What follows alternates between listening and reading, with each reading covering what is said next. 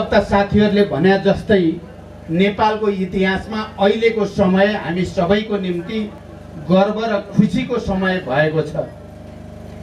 Nepali communist आन्दोलनका दुई धारा दुईटा बलिया पार्टीहरू एकीकृत भएर एउटै केन्द्रमा आबद्ध भएका छन्।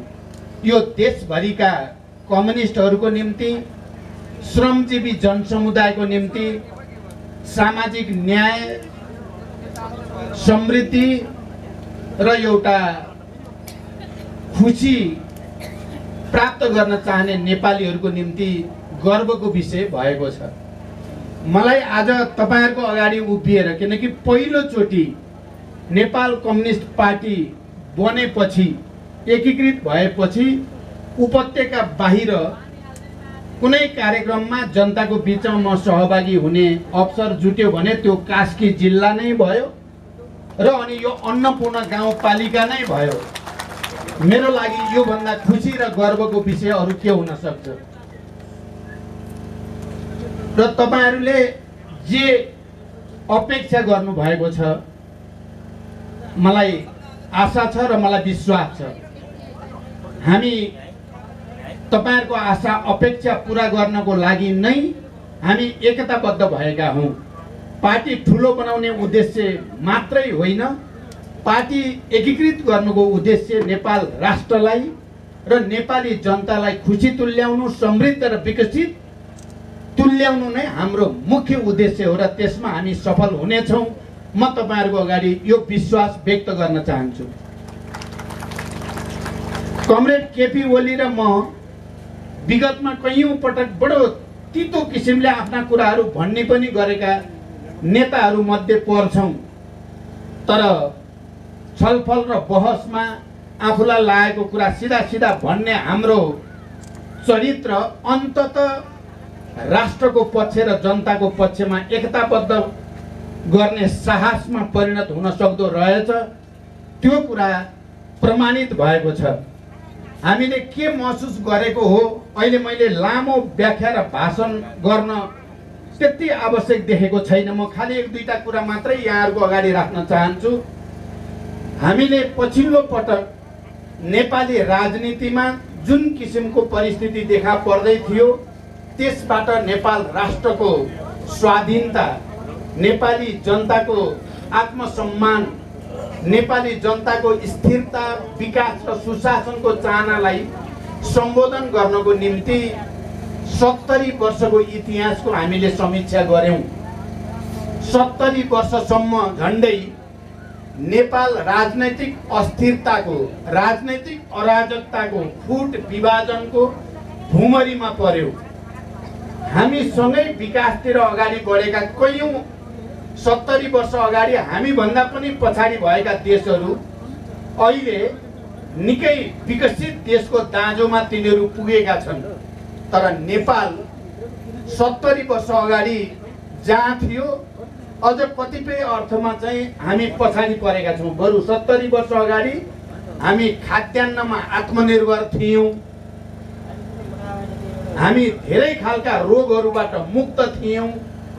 हामी खाद्यान्न निर्यात गर्थ्यौँ तर अहिले स्थिति झन् उल्टो भयो। किन भन्ने प्रश्नको जवाब खोज्ने क्रममा नै कमरेड केपी ओली र मैले धेरै दिन धेरै कोणबाट छलफल गऱ्यौँ र पछिल्लो पटक बाह्र बुधे समझदारी बनाउँदादेखि शान्ति सम्झौता संविधान सभा पहिलो संविधान सभा दोस्रो र अनि संविधान घोषणापछि कार्यान्वयनको प्रक्रियासम्म आउँदा दस वर्षमा दसवटा सरकार बन्ने जो अवस्था देखा पर्यो हामी के निष्कर्षमा पुग्यौँ भने यदि हामीले साहस गरेनौँ भने हामीले आँट गरेनौँ भने अर्को सत्तरी वर्ष पनि देशमा यस्तै राजनैतिक अस्थिरताको खतरा छ। त्यसकारण कहीँ न कहीँबाट कसै न कसैले त आँट गर्नै पर्छ।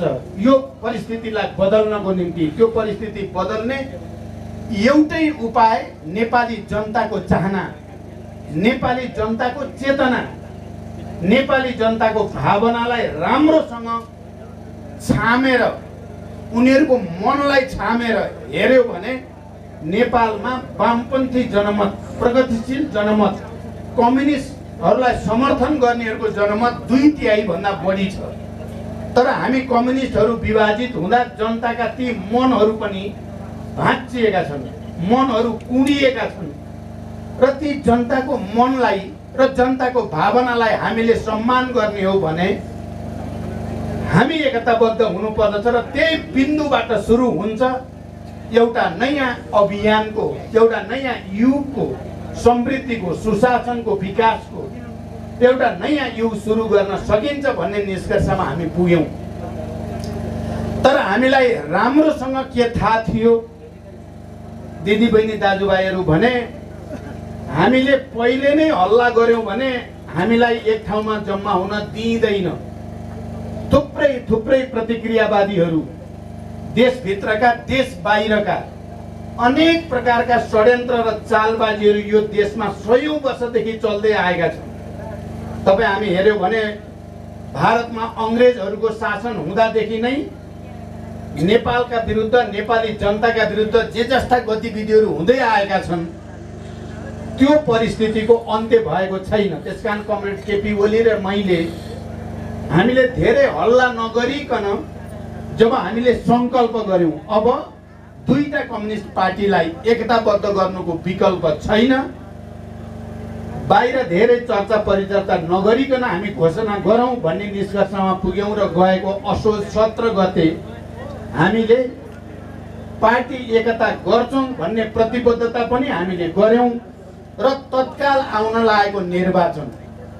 हामी साझा घोषणाको आधारमा साझा घोषणा पत्रको आधारमा र साझा उम्मेदवार सहित हामी निर्वाचन लड्छौँ भनेर तपाईँहरूले देख्नुभयो राष्ट्रिय सभागृहबाट हामीले घोषणा गऱ्यौँ। त्यो घोषणा यो देशभित्रका जाली फटाएको लागि पनि र देश बाहिरका प्रतिक्रियावादीहरूको लागि पनि अलि आश्चर्य जस्तो लाग्यो। उनीहरूले पत्याएकै थिएनन्। यी आपसमा लामो समयदेखि वैचारिक सङ्घर्षमा जेलिएका कम्युनिस्टका नेताहरू यति सजिलै मिलिहाल्लान्। एउटै घोषणा पत्रमा चुनाव लड्लान्। अनि साझा उम्मेदवार बनाएर त्यसैभरि मिलाउलान् एउटै पार्टीभित्र मान्छे मिलाउन त कति गाह्रो छ। दुईटा आपसमा सङ्घर्षरत पार्टीहरूका उम्मेदवार मिलाउलान् भन्ने उनीहरूलाई लागेको थिएन। तर हामीले त्यो कुरा गरेर देखायौँ। र हामीलाई कहिलेकाहीँ थोरै मनमा आशंका हुन्थ्यो। नेपाली जनताले तपाईँहरूले यसलाई अनुमोदन गर्ने होला कि होइन होला? नेपाली जनताले हाम्रो यो पहललाई हृदयदेखि साथ देला कि नदेला भन्ने हामीभित्र कता कता बेला मौकामा प्रश्न आउँथ्यो।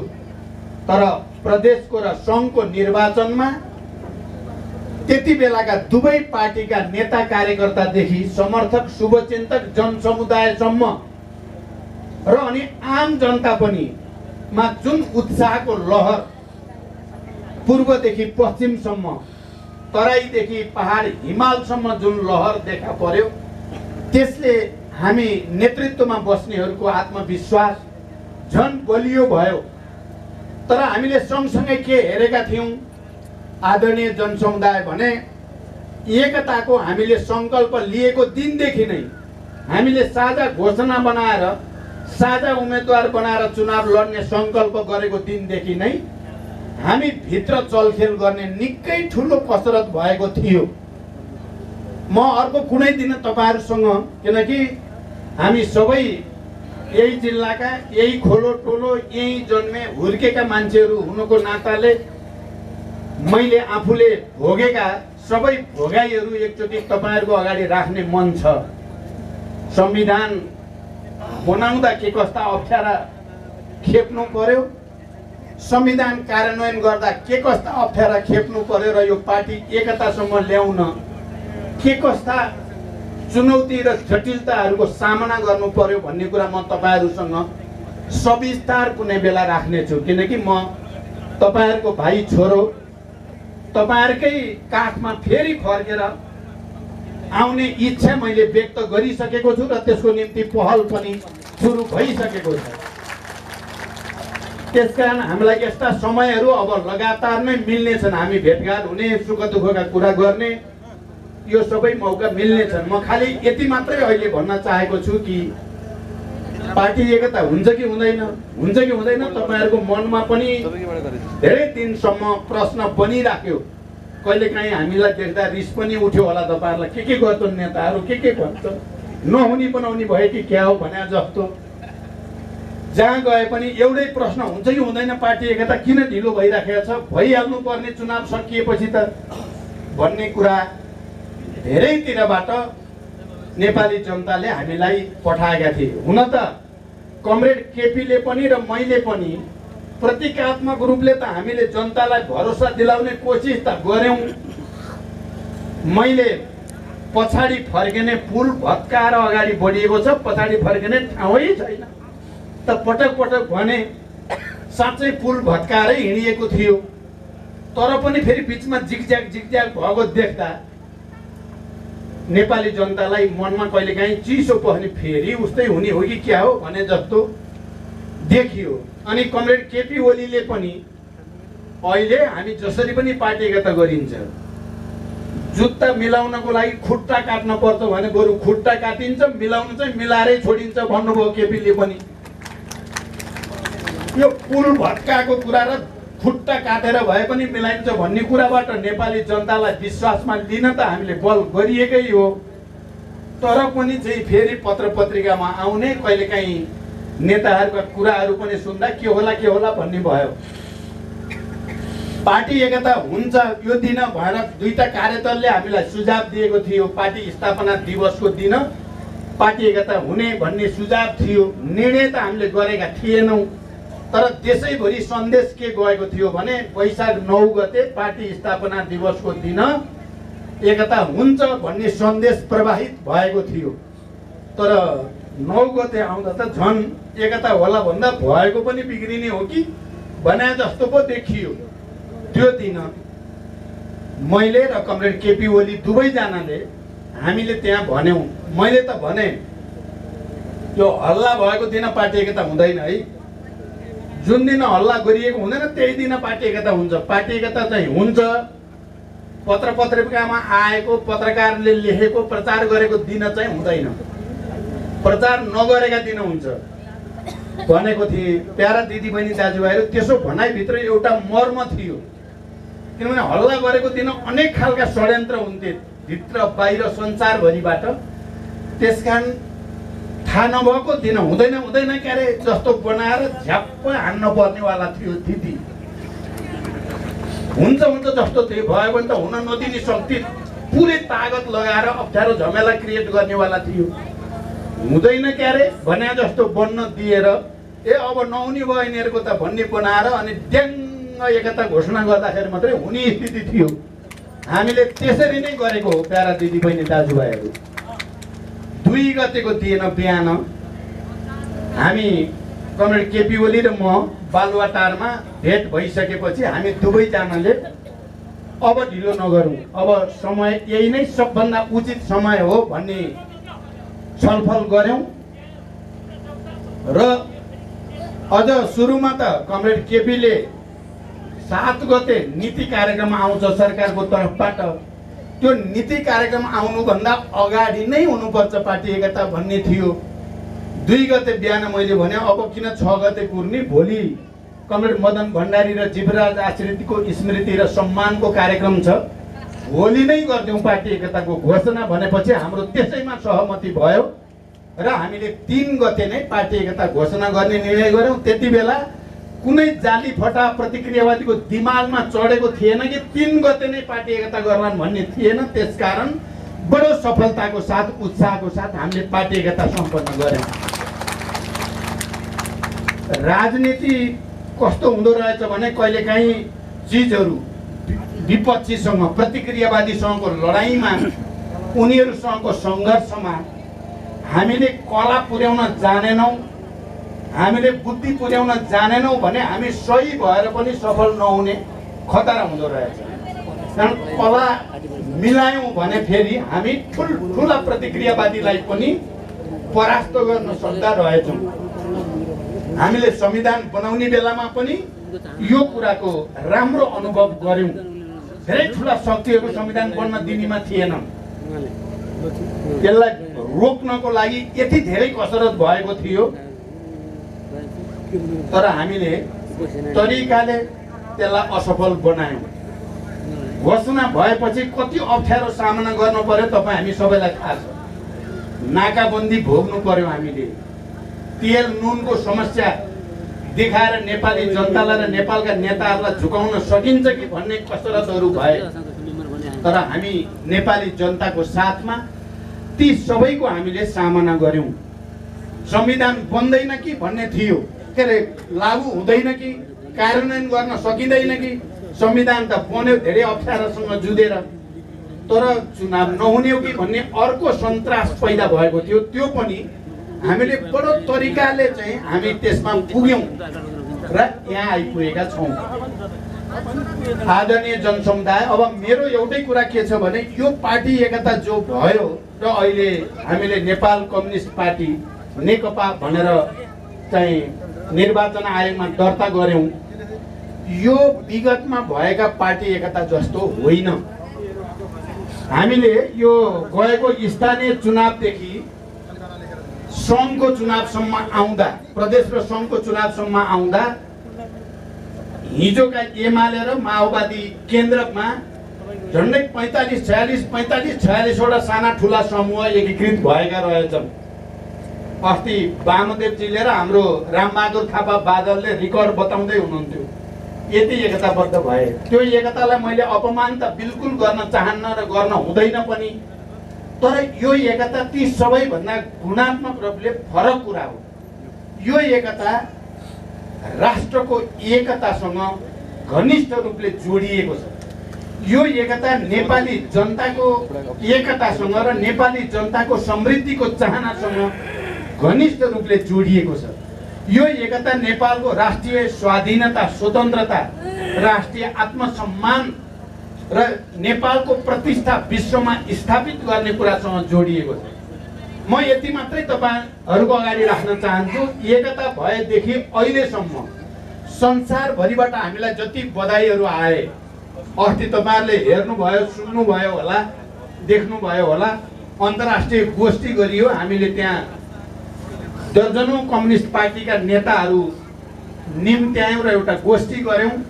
त्यो क्रममा र हाम्रा छिमेकीहरूका नेताहरूका अभिव्यक्तिहरू चाहिँ हामीले देख्यौँ। र कहिलेकाहीँ कस्तो लाग्छ भने तपाईँ हामी त यहाँ आफै कर्ता भइयो। हामी आफै कर्ता भयौँ नि त त्यसो भएर कर्तालाई चाहिँ आफूले गरेको कर्म ठुलो सानो कति हो भन्ने कुराको त्यति धेरै हेक्का हुँदो रहेनछ।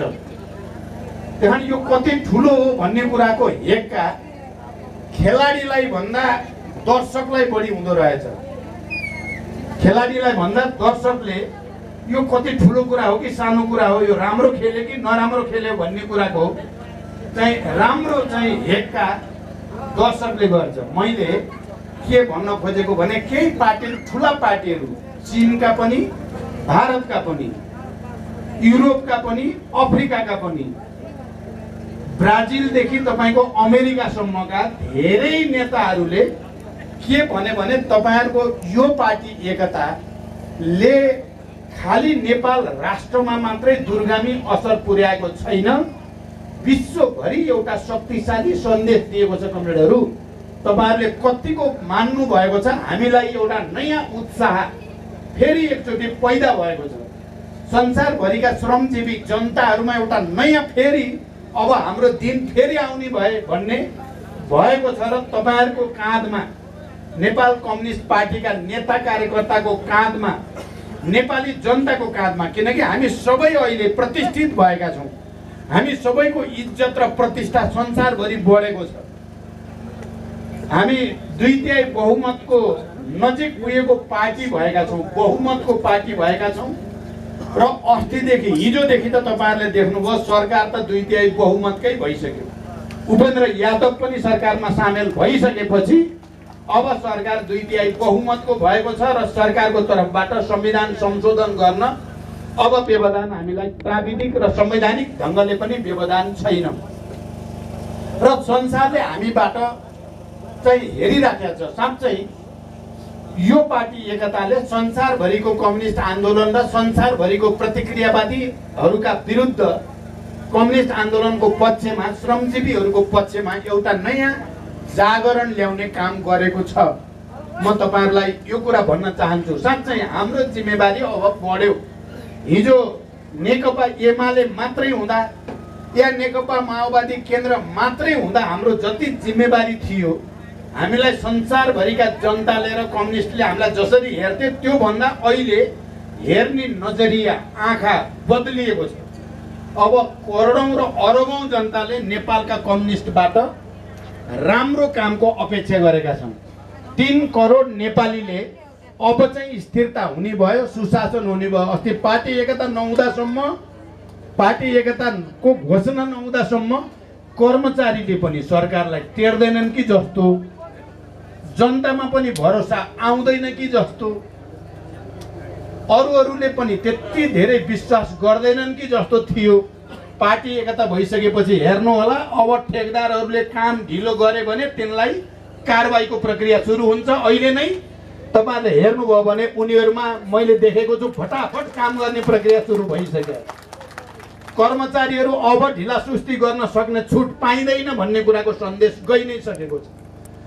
जनतामा विकास निर्माणको एउटा नयाँ लहर आउँछ अब भन्ने विश्वास पैदा भइसकेको छ र संसारभरि नेपालबाट हिजो त गौतम बुद्धले नेपालबाट एउटा सन्देश दिएका थिए। शान्तिको सन्देश।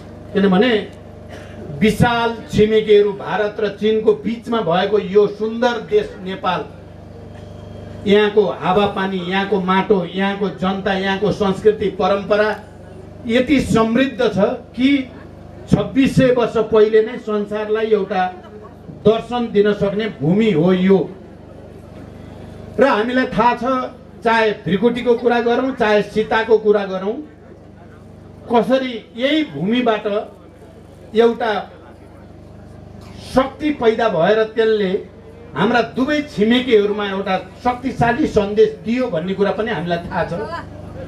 हाम्रो देशभक्तिपूर्ण लडाइँमा चाहे भोटसँगको लडाइँ होस् चाहे अङ्ग्रेजसँगको लडाइँ होस् नेपालीहरूले प्रदर्शन गरेको वीरता र त्यागको अगाडि अङ्ग्रेज साम्राज्यको मुटु कामेको इतिहास हाम्रो अगाडि साक्षी छ।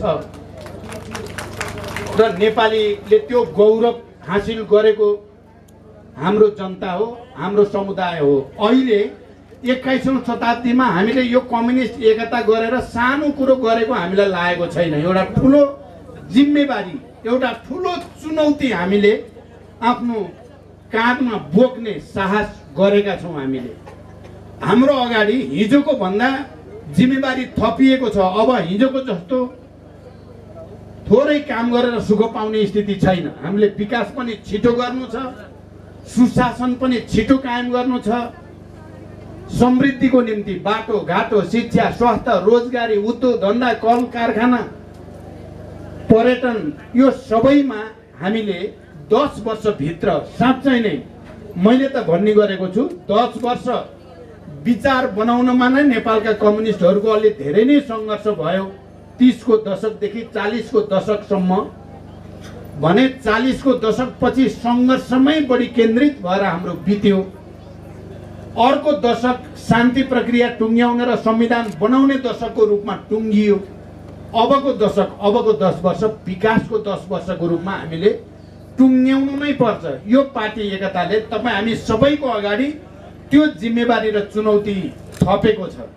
म पार्टीका सबै नेता कार्यकर्ता साथीहरूसँग विनम्रतापूर्वक आग्रह गर्न चाहन्छु। अब हामीलाई अलिकति पनि लापरवाही गर्ने छुट छैन। हामीलाई अलिकति पनि अराजक हुने छुट छैन। हामीलाई गुट बनाउने र व्यक्तिगत स्वार्थतिर मात्रै हेर्ने छुट बिल्कुलै छैन। हामीलाई संसारले हेरेको छ। हामी सगरमाथाको देश संसारबाट देखिने ठाउँ हो हाम्रो।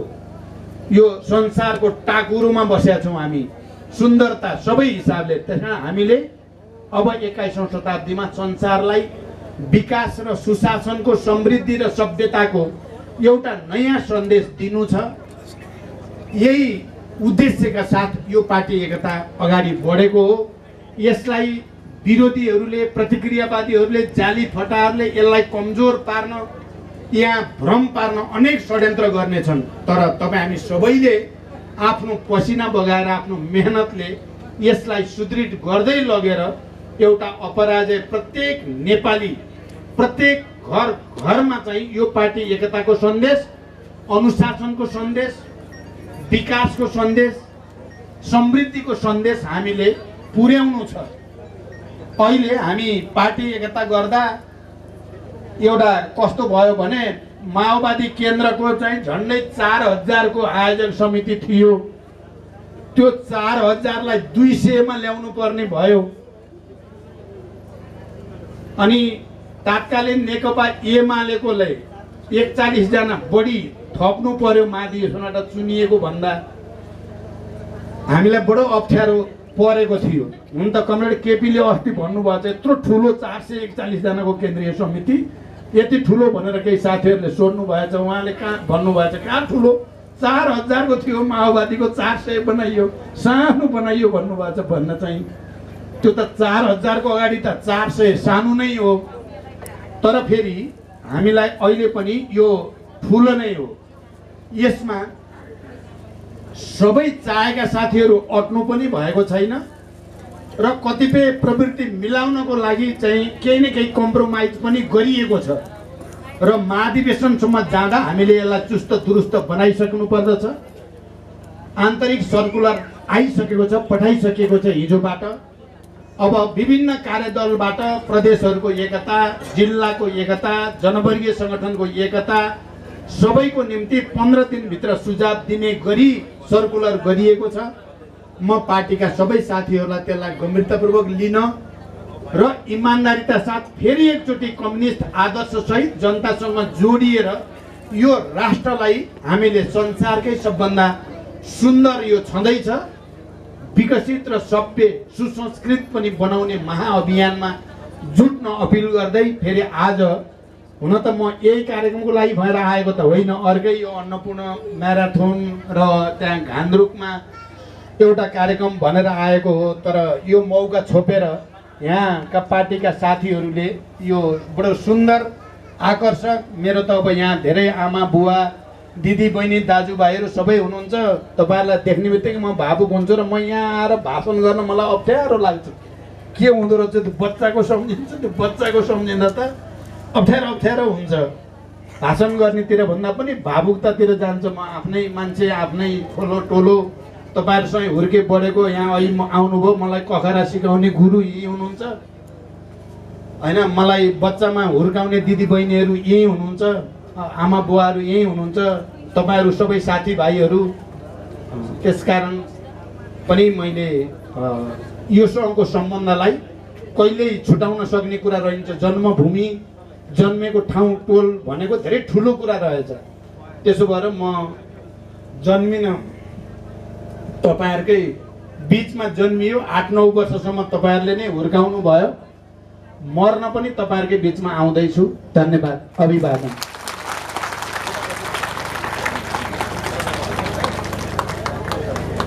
धन्यवाद। अध्यक्ष कमरेडलाई।